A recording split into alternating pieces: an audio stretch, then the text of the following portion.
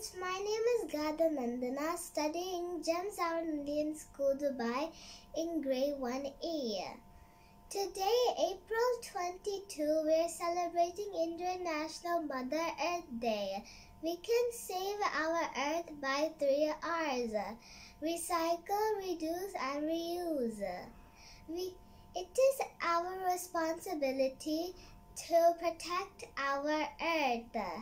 This is my small artwork. It's related to International Mother Earth Day. Thank you. Hope you like it.